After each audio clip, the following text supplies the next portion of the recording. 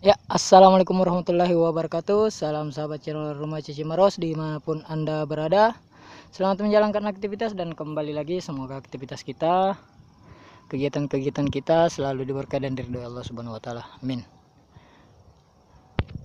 Ya sahabat channel Rumah Cici Maros uh, Di kesempatan kali ini atau video kali ini Saya akan berbagi tips uh, kepada teman-teman uh, Cara atau menangkap uh, cacing fosfor atau cacing susu ya. Kalau bahasanya daerah sini uh, buat dijadikan uh, bibit di rumah cacing maros ya. Jadi sahabat channel rumah cacing maros kali ini saya berada di daerah uh,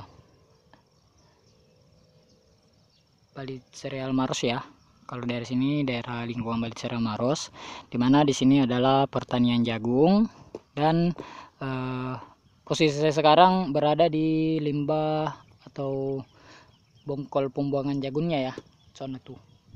Nah, ini di sini tuh guys banyak sekali cacing fosfor ya banyak cacing fosfornya. Dan ini bagus buat kita yang ingin uh, budidaya atau pemula utamanya pemula ya.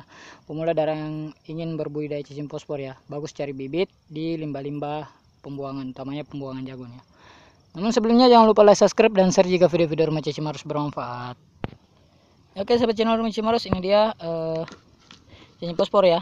Nih cacing guys. Ini cacing fosfor yang tadi saya tadi gali sedikit ya di limbah-limbah pembuangan jagung nih itu bisa teman-teman lihat nih. Ini cacingnya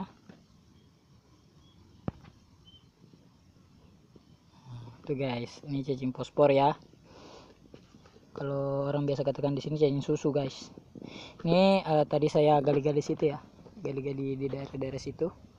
Itu di pembakaran.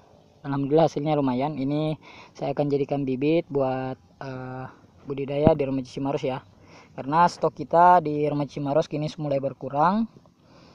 Uh, dan bahkan hampir habis ya habis. Makanya uh, untuk kesempatan ini karena ini musim penghujanan makanya kesempatan untuk cari cacing fosfor. Karena di sini banyak ya cacing fosfor jika musim penghujanan guys. Oke kita coba ya. Kita tambah sedikit baru kita balik ke rumah ya. Jadi sahabat channel rumah Cimaros uh, cacing fosfor itu sukanya di tempat-tempat yang kayak gini ya. Di tempat-tempat pembuangan bongkol jagung kayak gini. Jadi bisa teman-teman lihat ya. Kalau kita menggali bongkol-bongkol jagung begininya ini cacing-cacing fosfornya itu banyak guys kayak gini. Nih. Nih. Tuh.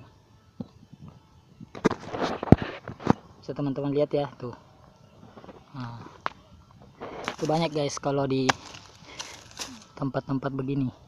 Tempat-tempat limbah pembuangan jagung. Karena apalagi ini kan musim penghujanan. Jadi cacingnya itu e, pada naik ya di dasar. Karena e, daerah bawah pada tumpukan bongkol jagung ini e, banyak airnya. Makanya dia cari daerah-daerah yang kering.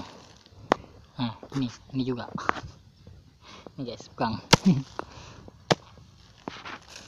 coba.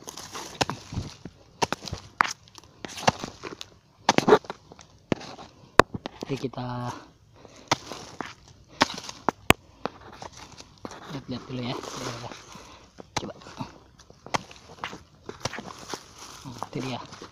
Ini dia guys. Tuh. Main kan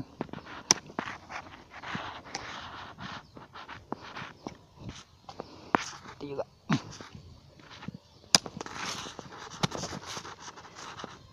hmm.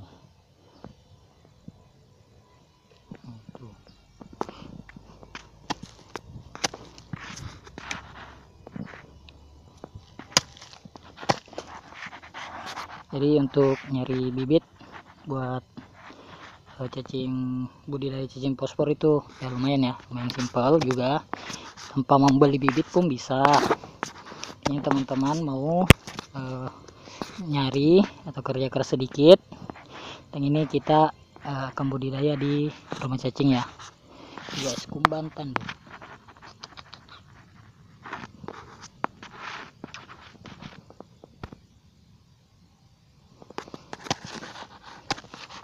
oke.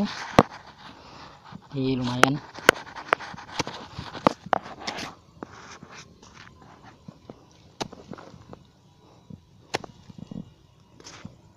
Jadi usahakan uh, ngambil cacingnya itu yang utuh ya.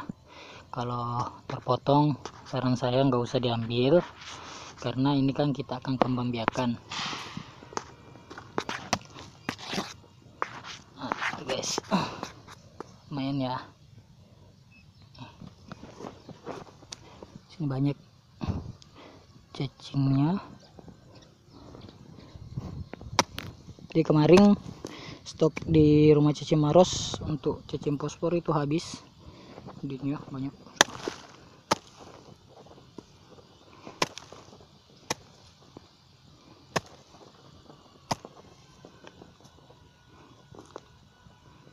Tuh guys jadi kita e, buat bibit ngambil yang cacing fosfornya itu utuh jangan putus guys. Jika putus nanti hasilnya akan jelek ya. Tuh. Jadi alat yang saya gunakan itu e, garuk kayak gini ya. Nih. Ini garuk saya tuh modelnya. Jadi e, bukan pacul atau cangkul tapi garuk. Nih mau kecil mau besar intinya kita ambil saja. Karena ini kita mau jadikan bibit saja. Jadi kalau banyak kita pasarkan ke pemancingan. Guys ini ya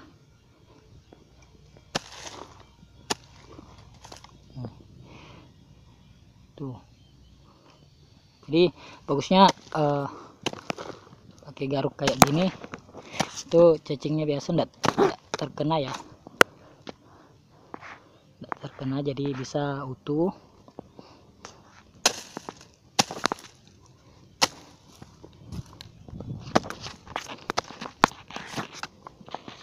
Jadi kalau dapatnya hari-hari begini guys ini dapatnya hari-hari gini tanpa diternak pun bisa ya kita langsung jual.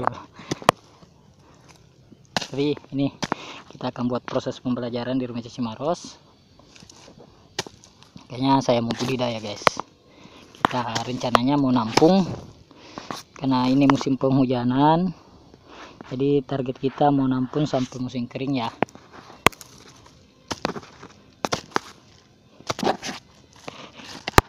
itu guys jadi buat di daerah teman-teman kalau hujan ya juga salah satu kesempatan buat cari cacing fosfor ya.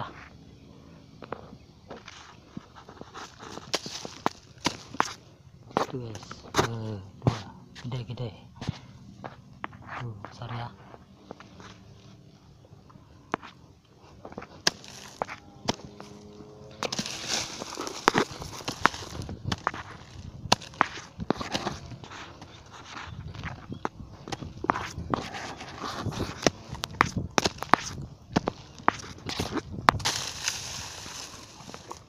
kalau makin makin di bawah. Semak-semaknya makin banyak ya. Tuh guys. Tuh.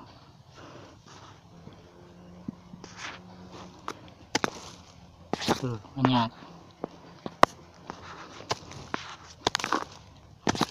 Jadi cacing fosfor itu enggak terlalu suka di dataran tanah yang keras ya. Dia sukanya di dataran tanah yang gembur kayak ini. Jadi untuk budidayanya nanti kita bisa pakai uh, selain tanah ya. Selain tanah kita bisa pakai eh, backlog jamur. Kalau saya pakai backlog jamur bekas jamur tiram yang saya pakai di rumah Cimars ya jadi nanti jika sering makan ini kayak ampas tahu sayur-sayuran kalau di rumah cacing saya tidak kasih makan kotoran guys karena biasanya kayak teman-teman yang buat sampel jadi obat ya. Oh ada lipan. Itu lipan.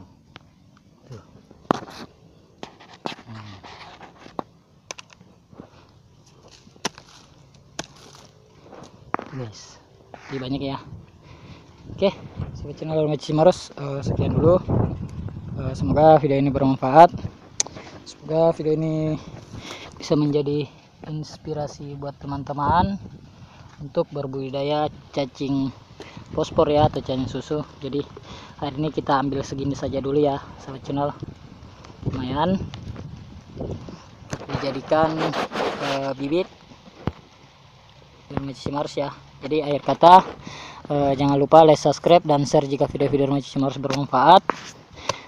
Dan saksikan konten-konten atau video-video selanjutnya di rumah Cimaros semoga bisa bermanfaat buat teman-teman dalam inspirasi budidaya guys. Ya sembaring ini sudah juga hujan ya. Sudah mulai hujan kita mau balik juga ke rumah. Tuh guys. Banyak ya. Jadi besok kita ya kalau ada kesempatan kita cari bibit lagi. Kita isi kolam. Bu ada ikan jadi kalau nyari bibit kayak gini misalkan pakai sepatu kayak gini ya sepatu laras sepatu karet. Tuh sobat channel. Oke dah kita balik dulu karena ini sudah mulai hujan ya. Sana teman saya guys ada juga. Nah mulai nyari cacing. Jadi akhir kata saya ucapkan wassalamualaikum warahmatullahi wabarakatuh. Uh, salam sahabat channel Mici Maros jangan lupa like subscribe dan share jika video-video Mici Maros bermanfaat